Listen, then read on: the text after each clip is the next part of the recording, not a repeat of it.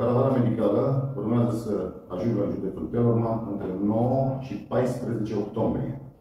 Reiterez, 9-14 octombrie. Nu mai mult de 3 săptămâni, maxim o lună. Vom avea trei, avem deja trei localități. Un, din păcate, din cele 97 de UAT-uri, nu putem să alegem 1, 2, 3 care fi mai de soi. Restul știți foarte bine care e situația județului Telorman. Primul la depopulare, primul la sărăcie, primul la migrație.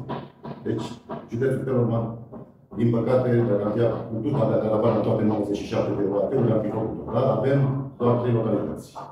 Fiecare localitate și grupul de agroexpune care sunt, vorbim de 9, datele 9 și 10, Plopii Slăvitești, Valea Ortului, 11-12 Poeni, de Videle, 13-14 încheie săptămâna la Orbească.